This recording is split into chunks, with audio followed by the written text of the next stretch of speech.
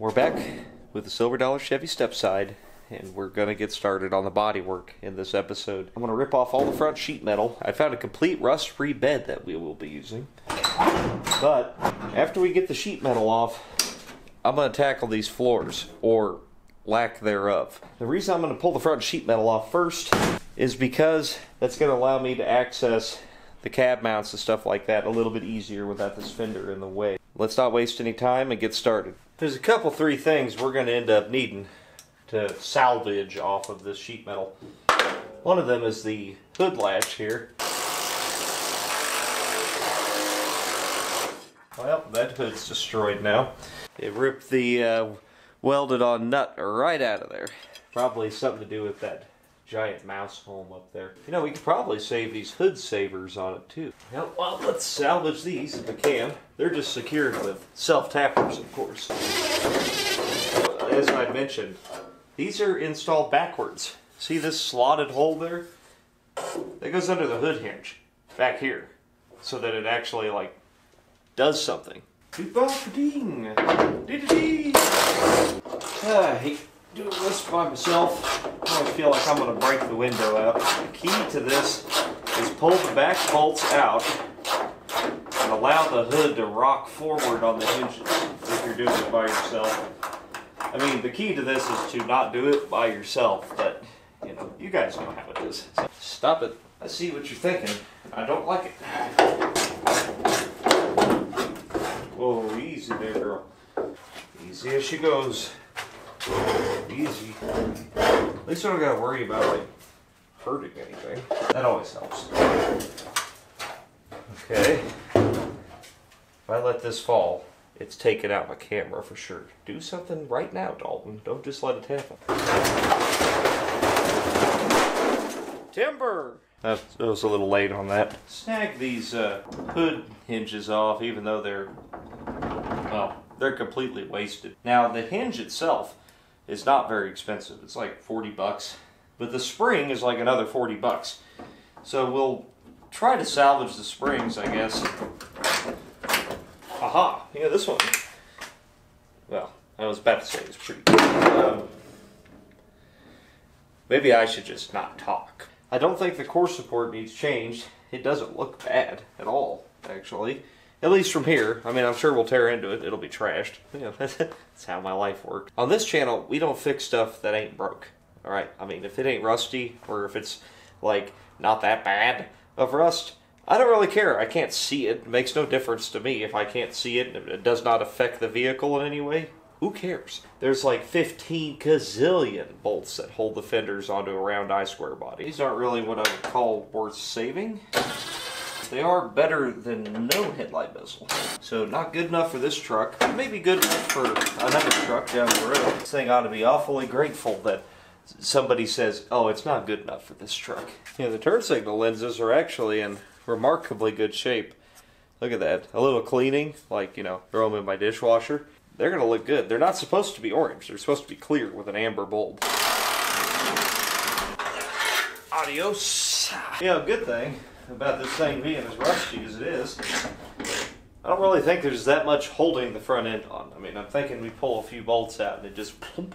These inside the fender well bolts are always the worst ones. Never come out easy. Prove me wrong, old silver dollar. Well, I'll be danged. Oh man, this baby wants to live like you wouldn't believe. Wow. Uh-huh. Are you kidding me? There's still enough of that battery tray left to hold that on. You know, it takes a lot to make these trucks fall apart. You realize as you tear into one. Or save the factory jack and stuff. All the brackets are still in there too. Yeah, it's little things like this that make the big differences. Yeah. Sayonara! You know, whenever you got a vehicle that actually starts to look better as you rip parts off of it, you know you got a good one. Goodbye.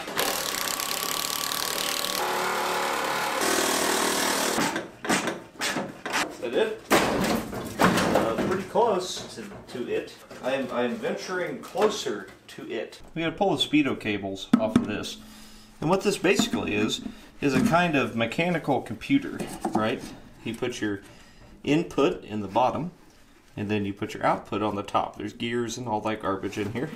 And you control it with a electronic solenoid right here that allows vacuum to flow in or out of this guy. And as you set your cruise control, this thing will suck in or release or whatever, pulling on this cable right here. And that would give you your throttle actuation thingy. They're not only garbage, they're also occasionally dangerous. So, you know, it, it is what it is. We'll have to get a new speedometer cable. Try not to get tetanus from this. Good God. Got some extra plug wires. I didn't even know that was there. It's gonna fall on my leg, isn't it?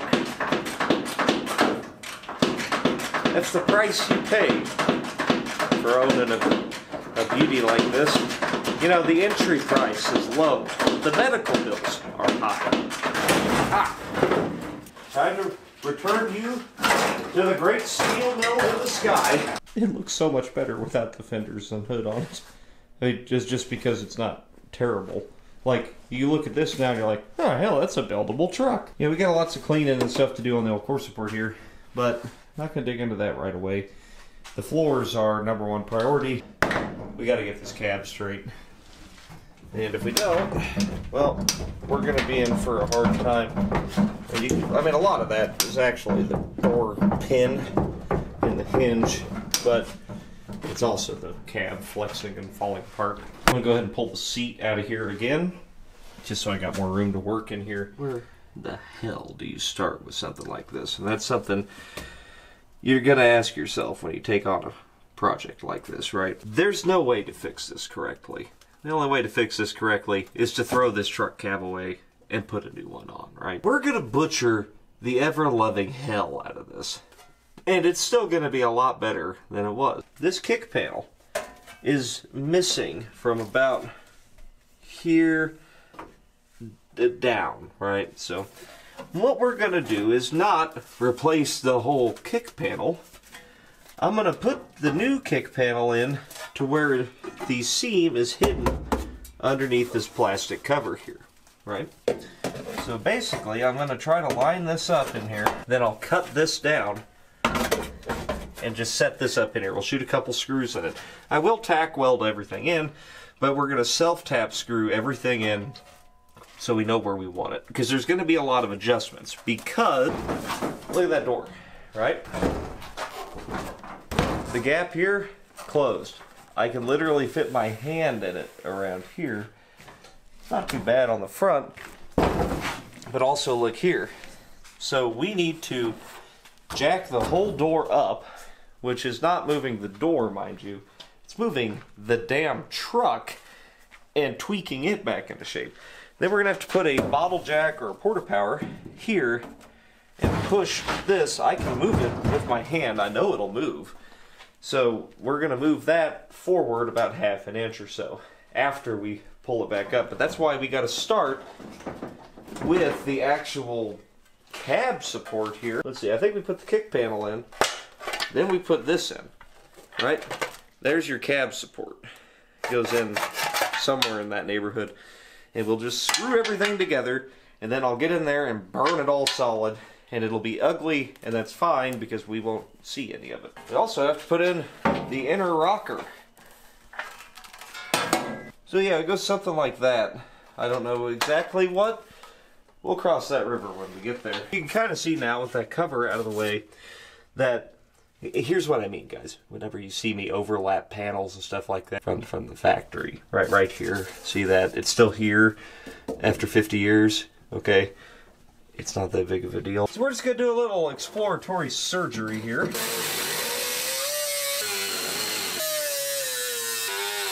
If I pulled hard enough, it would probably come off. And I do have a spot weld cutter. But here's the problem. I don't care. I don't know. What do you think, buddy? I say you just stick it over and just load it back good? to the floor. Uh, nothing here scares me. It's just it is attached to the the actual outer cab brace here. That's the part that oh yeah that's... is pretty bad. Uh, so how about I just cut this off? We'll cut all the rust out. So the rust isn't going to spread because it won't be there. And it really won't make any difference because nobody will ever see it. And if I didn't have a YouTube channel, you would never know. All right, I'm gonna go ahead and chop out this floor just so it's out of my way.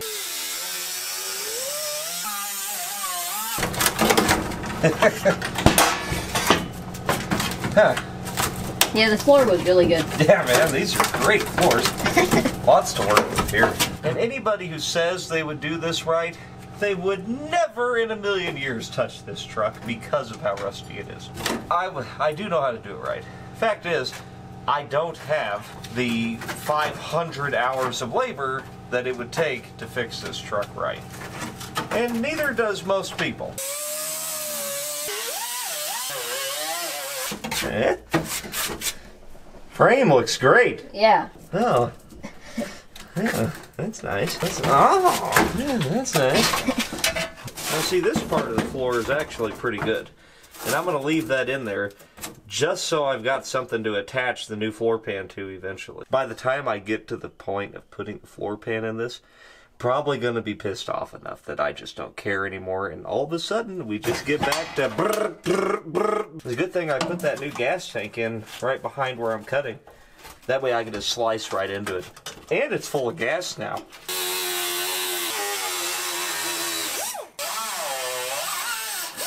I think that's a pretty good start. You see we've kind of just trimmed all the rust out of it. It's not perfect. It's okay. It's lasted this long. It'll last quite a while more. Getting every dime's worth out of these things. So I'm gonna cut out the outer part of this rocker because you can see ah, underneath this this is what's left of the inner rocker. That that that's there's the inner rocker of the whole side of the truck. If I can get something out easily like that, or if Mother Nature has done the job for me, well, okay. We'll go ahead and do it. I guess. I'm kind of a perfectionist. Uh, th- these are actually slip-on rockers. They're made to go over your existing rocker. And I've got them in old blue. They've been in there for seven years in the salt, mud, dirt, whatever. And they haven't rusted out. It's amazing.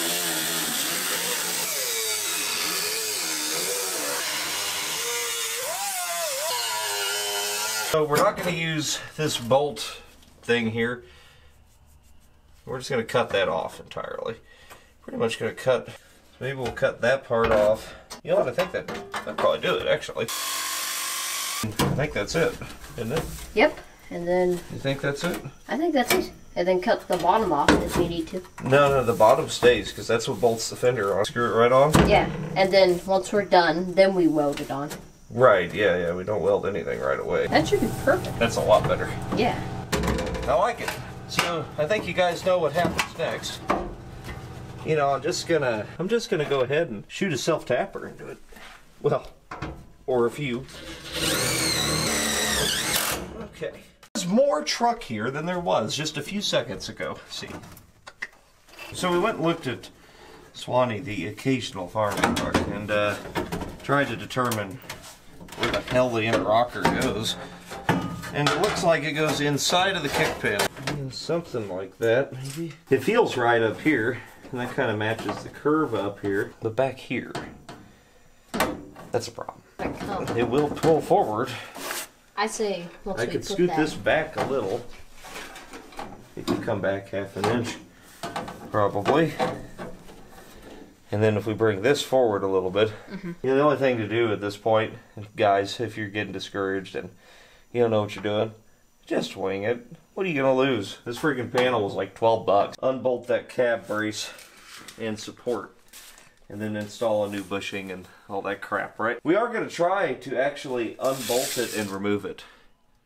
So I'll see you in a minute with the sawzall.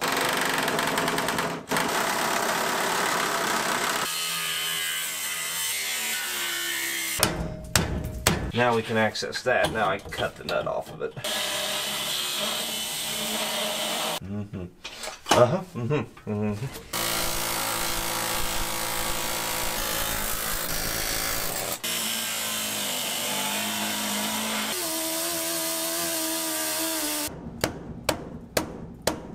If I'm actually doing anything or if I'm just bending everything. I don't know. I think you're just bending everything. I think you're right. Oh, God. Get out of it. We're gonna put a jack right here. Yep. Lift this up. get this squared back up. Oh yeah, there it goes. We're gonna reattach this using that Mustang underhood brace there. And uh, yeah, then we're gonna hope for the best. Uh, maybe like a few more. No, it's not working at all. Great. Oh, God. There. I think, I think we got something going now. Yeah.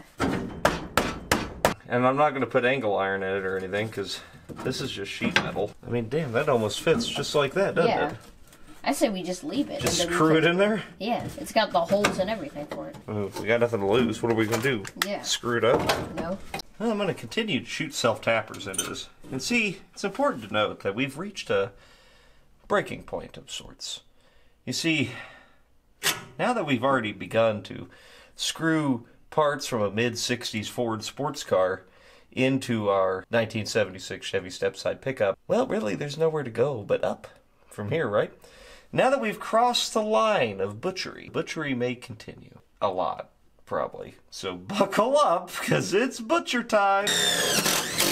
So once we put this brace in, and then we put another plate on top like it had before, Yeah. that will hold it in. And we will actually do that. All right. It's a no fit. And I can see that this whole thing is just caved in. And what I'm going to try to do is porta power. Well, it's moving it all right, isn't it? Yeah. A lot. Yeah. that's Yeah, a that's gonna lot work. better. We could just keep that on there and Forever. do it. Yeah. I mean, I could get the bolt now. I'm pretty sure these are supposed to be flat. Though. I'd love to get this porta power down here, Yeah, that would help a lot. Yeah, Notch you need, that you anyway? need to notch it. but but we definitely have it spread to the correct width now. We did a thing. And so yeah, we're just gonna cut what like this, a little of that. This doesn't fit. It's just not exact. It's close, but it's it's about a half inch off. So we're gonna try to bolt this thing in and then suck it down when we tighten it. Long enough? Yeah, it needs to be longer. Longer? Yeah, I can barely see. Maybe there's a long. You know, if they made this bolt hmm? half an inch longer, it would work a lot better. And that's how much. That's as much as I can poke through. It looks pretty good. Is that as far as you can it. I go? think I got it. I had to take the washer off, but I got it. All right. It's not cross-threaded. Well, it's been about a week since I've been out here. And I've just been kind of piddling with this thing. Finally, after much pain and gnashing of the teeth, I finally kind of realized what to do. End up having to use a longer bolt to hold that down because the bolts supplied are way too short. It's still not good, you can tell by just looking at it, but everything fits a little better now after I've reworked everything about 400 times. I've kind of decided that this has gone from restoration to do the best I can with it. So what I had to do, throw a jack under the A pillar here. That has spread the cab out better than anything. And now the door gap is actually pretty good. It even closed it up down here. I can live with that. And it's not bad all the way around. Uh, so this is what we where we want it. We want it to be right here. So I'm going to shoot a lot of self tappers in to hold it in place. Then we'll come back and weld it in. Well, it's all self tapped into place, and you know that could be permanent, but eh, not this time. We need the support. So you can see here, the door gap is freaking great now. This is definitely where we want it. However, if I lower this jack, the door moves quite a bit. Now, it's not bad. This is within the realm of I could adjust that out. Alright, well, I'm going to try to tack this stuff in. I cleaned it as best as I could, which is not very good. Is now a bad time to mention I have no idea what I'm doing? Hopefully I got this gas tank sealed up, otherwise, well, uh, I ain't to be cold no more. Blowing right through the rust. Great. Nothing like a 110 flux core to give you some pretty welds. Yep, something's on fire. I guess. God, it's ugly. But whatever, it doesn't show, so that means it doesn't matter. And don't let anybody tell you otherwise. You see, the thing is, uh, the chicks don't really mind. Alright, so I got some welds on the back side of the kick panel, just some tacks. You can see how beautiful that looks. Please insert Ray Charles joke here. Yeah, I'm too scared to weld along this because I'm afraid of, you know, blowing myself up. The rest of this, I dare say, is reasonably solid. Uh, except for, you know, the important parts. I don't know. Let's see if I did any good and let's let the jack down. Well, yeah. Oh, I screwed this piece of wood. This is really all I care about is the door. And that is definitely close enough to make work. And dare I say, it's reasonably sturdy. See that now when I move this, it actually moves the whole truck instead of just that A-pillar. I think we did something right here. I, I do want to, I'm going to come back in here and try to weld this seam up a little bit more. But other than that, I'm fairly happy with this. Now let's go ahead and rust proof all this. So we need a plate like that one. It's just another piece of sheet metal, but it's just to help support the top of that brace. And so I've got some sheet metal over there. We're just going to kind of eyeball that and weld something in that, you know, sort of kind of resembles that. Well, it's a good thing I painted all this so it's impossible to work around. Looks like it needs to bend up a little bit and set on that front brace there. This is heavy steel right here. Really heavy, actually. Maybe this will work. Oh, oh. Look at that.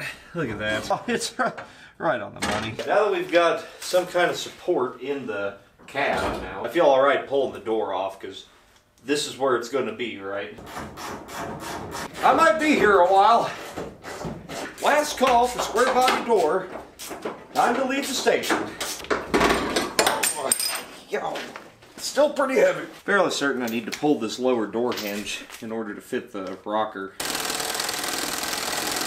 Alright, we got out of that unharmed. You know, and the hinge pins actually feel perfectly fine in these. It was literally the whole truck flexing, not the hinge pin. We're gonna start off by just trimming out the rust that's here. And again, I'm gonna try to just, these are slip-on rockers, so I am gonna try to just slip it over it. Let's see here. We're gonna cut off this. We're pretty much just gonna cut off this whole leading edge. Then we'll refit it and you know, just keep nibbling away at it until we get this to fit halfway decent. Is if the metal's solid, you overlap it, put a little skin coat of mud on it, it will last forever. I got thinking about it. I'm pretty sure the floor goes in first, but whatever. I need to trim off the back end of this thing where it would normally go behind the cab corner because we're not going to replace this cab corner. I got her clamped where I want her. I'm going to come back here, trim off this back edge here, and try to get this to let it set down in there. I went ahead and had throw a little extra metal in here. It's really pretty, you know. Anyway, I think I figured out what I need to trim off of this because it fits about as well as the So we got to shorten it kind of overall and take this inside lip off. Little test fitting here. Uh, got the rocker kind of where I want it. Not quite where I want it back here. That's to take a little beating, but you can see that we got a, a little gap. Because this floor pan's a little fat right here. So we need to trim, just notch that out, probably because I overlapped the kick panel. We will have to trim some of this. And then the actual cab brace is holding it up in the middle. So here's game plan is get this to fit attach it on this side so it's smooth up against here, and then beat the ever-loving hell out of it to make it, you know, fit on the other side, and, you know, we'll cover it with some sound deadener, and what are you talking about? I've got it self-tapped into place here. I know this is not gonna end well, because the damn thing's like two inches out of whack. Let's see what happens if I just go to town on it real quick. Yep.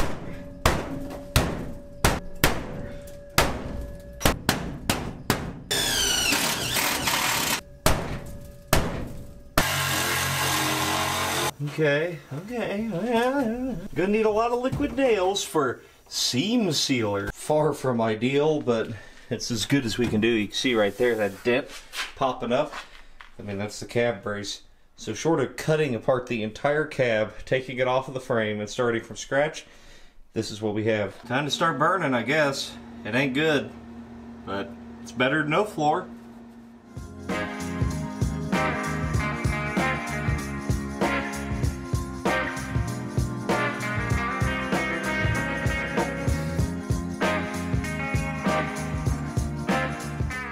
Okay, well, that is a pitiful excuse for welding in a floor pan, but it is in there and it is solid as a damn brick now, which is great because that was really the biggest issue with this truck. Now it's onto the rocker, which actually fits pretty damn good. On the outside here, you can see that our hole lines up for the door stopper. And yeah, the right way to do it is to cut it out and then put this in there. But you know what? I, I'm thinking I just ding this in, bzz, weld that in, bzz, weld that in, a little bit of mud. You'll never see it. And guess what? Old Blue out there, the truck that everybody loves, think is beautiful and original. Uh, it's actually not even welded in. It's glued on and fillered, and it's fine. Has lasted for years and years and years. Hit this with the wire wheel real quick. Clean off this rust. Now we'll just coat it with some Rust-Oleum here. Start burning again.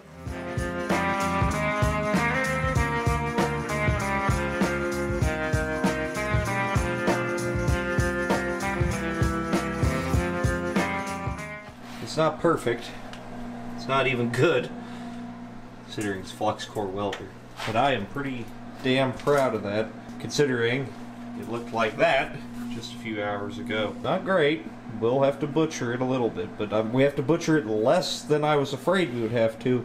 That's a win. Where we're going to start on this side is the same deal as we did on the other side. Just cut all the rust out. On this side, we will have to cut the cab corner out, so that's going to be an added, you know, challenge there. Try to jack up this door till it fits again, just like we did the other side. And as long as we can fit the door, get it braced up, then we can work from there. Same thing, again. It's only like another eight hours of work.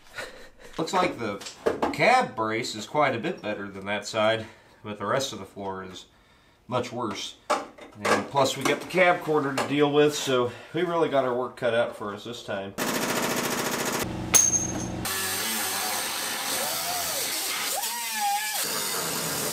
I decided I'm going to use a spot weld cutter to remove this plate. So, the way you do that is kind of fish around for the spot weld. You'll see it when you grind it. Already cut one out here. Looks like there's another one right there. Spot weld cutter here, and to get her spinning. Boom. And I think that might be better. I think that was my big mistake I made over there was being too violent with that cab brace. Got the cab brace out here. I got a 4x4 holding up the cab over here. This side's not near as bad as that side. However, this kick panel, it bolts the inner fender to it on the inside there. Remember we cut the top of that one off? Well, we're going to need the whole thing over here. So we will, I already ground it down. We're going to try to find all the spot welds for it. Might be a little hunt and pecking going on here, but let's see what we can do. If we can get this side to pull off, then we can flex it and we'll be able to see where the spot welds are at the top a lot easier.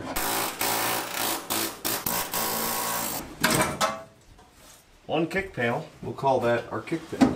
So I'll put a couple self-tappers in there just to hold it for now. Okay, just to clarify, I'm not insane. This is the bolt that's provided with it. This is the cab mount. It no work. It no thread. Like, it's not even the right diameter. I figured out what it is. Apparently this Ford motor mount bolt I found is the exact thread for it. So it's not the bolt's fault, it's these have the wrong threads in them. Made good progress here. Everything's self-tapped into place. Uh, this fits way better than the other side did. I don't think we'll have the same issues, but we're way high on the kick panel here. I'm gonna have to pinch that shut and burn that. And we're not actually way high on the kick panel. It is supposed to run downhill like this. I, I put it exactly where it was. That's just the nature of aftermarket parts, right? So we'll make do. I'm probably going to end up having to cut this little step out of here, I imagine.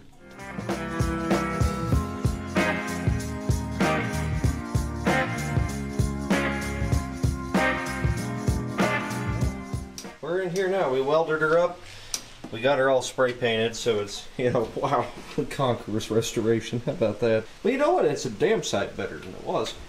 Truck's nice and sturdy again. We still got to put the outer rocker in. That's really going to stiffen up, you know, this, because there's nothing in here. Had a hell of a time getting anything to stick to that seat bottom, so that's going to get more stuff I remove off this truck. The better it gets. Ew, rusty son of a bitch. Come on. shit. All right, got it. Easy. Take a look at this. Oh my god. Alright, we got to trim off a little bit of rust up here. We're going to find some way to reattach this at least a little bit. It doesn't got to be good. Rust free. Free rust. Alright, so that new cab corner goes clean up into here. We don't need this whole, we don't need the whole deal, you know. Now this would be a lot easier if I pulled the, uh, the bed off first. Step side does afford us a little bit of opportunity to, at least you can see it, you know, on a typical fleet side bed, you can't get to any of this stuff.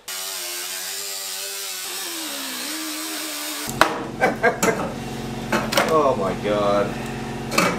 what a piece of crap. I wonder how hard this thing would be to get off. Probably harder than I want to try, but it's worth a shot. Try to get this step off so I can get in there a little better. Yeah, you might notice the inner cab corner has some issues, and uh, the key word there is inner, which means you can't see it, which means I'm not fixing it. I started to try to unbolt this and realized there's a lot of rusty bolts on it. So, uh, you know, it, it, it don't want to come. I'm just gonna delete it. This is nice, and that's razor sharp. I'm gonna cut my hand open on that. Almost assuredly. I think we gotta put the floor pan in first just to make it go a little bit easier, so. I am gonna have to trim this kick panel here because it actually has the same piece of stamping that the floor does right here. Well, Buff from Buff's Garage. What do you think? I think it looks really good. I think it has a floor. How did the seatbelt catch on fire? Was it that screw I cut? Oh, Yeah, right there. oh. It smells like a burning body in here now. Not that I would know. Most of this floor self-tapped into place.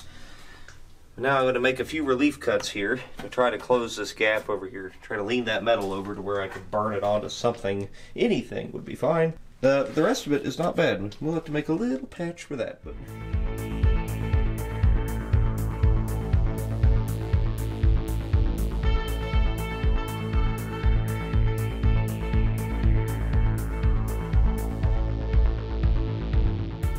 It's ugly as sin. It's booger welded as hell.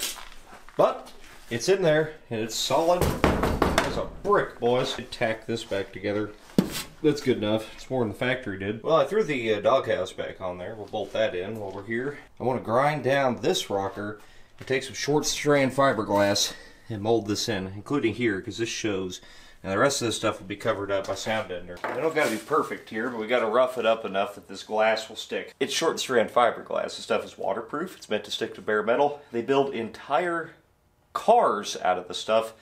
It works pretty damn good for decades.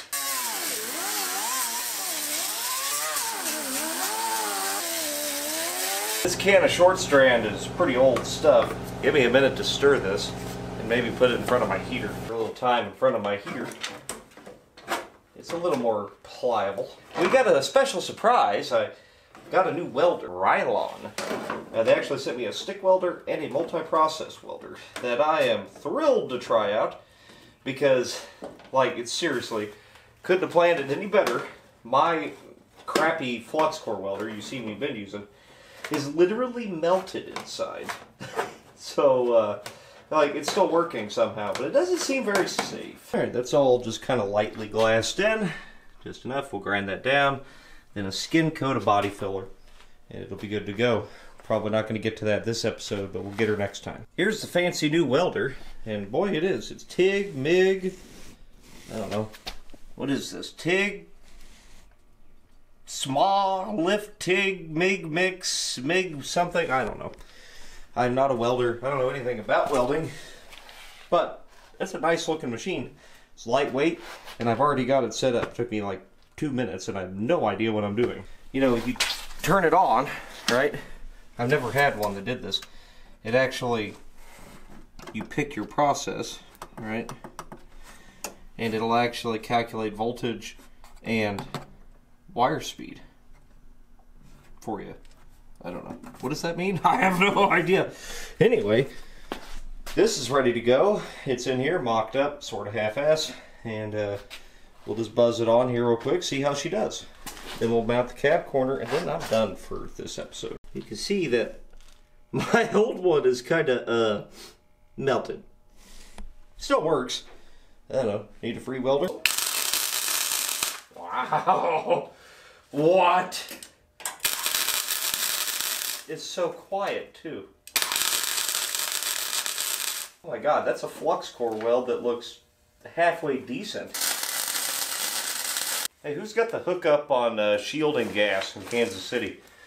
Because uh, now that I have a decent welder, I sure like. I might actually get into this a little bit, huh? This little unit here is 600 bucks ish. It's a little under that on Amazon. Right now, there's a 30% off coupon for it too. You might check into that. This is a MIG TIG 110 or 220. Uh, I mean, it came with everything you need to weld, and it auto sets everything. You just go to town. I mean, this is my kind of welder right here. And the little arc welder they sent me is only 130 bucks. So if you just need a little machine for around the farm, that'd be the one for that. I am incredibly impressed by this. Check down in the description below for a link to this. Okay, well that's, you know, more or less um attached-ish. I don't know. It's solid though. Make this cab corner fit properly, I'm gonna have to cut the inside edge of this rocker out all the way down. And that's because I'm not doing it right. And that's because I don't care. So basically, the thought process behind this butchery is that by the time I put this on here, right? Now I could butt weld it in there or whatever. Doesn't matter if I just it right over the top or if I butt weld it in there, I'm going to have mud all the way up to that body line, a skin coat to blend it into the cab. Anybody who thinks otherwise has never been in a body shop. Either way, it doesn't matter. I'm still putting the mud in there. I can make it a little easier on myself right now if I do it this way. That's pretty good. I like it. I like it a lot. We're going to want it to be about to here. So we'll just cut this right here and uh, then we'll test fit again. So I got this pretty much where I want it and it fits really nice overall. It may take a little bit more trimming but not bad. And everything here is going to get a skin coat of filler so it'll all just blend together eventually. So option A, cut this, butt weld it. Or option B, which is, you know, a little more in line with this channel, is beat the hell out of this, ding it all in.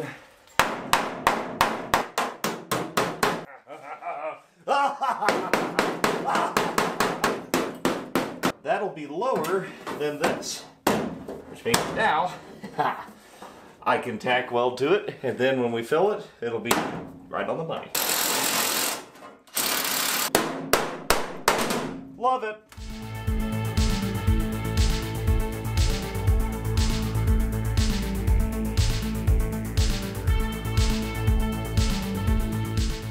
That's hideous, but it is what it is, and it is attached, and it's solid. We'll grind it down. I'll finish that out. And if I hadn't made a video on it, you would never know. All in all, guys, I think that's a success. The truck has floors, rockers. It's attached to itself again. It's way, way better. I didn't get as far as I wanted to this time, but I have 14 minutes left on a 64 gig SD card, which means I've recorded about seven hours of film, and it's just this. This is a long process. Doing this kind of metalwork stuff like this, even half-ass like this, I could do better. But the truck simply isn't worth it.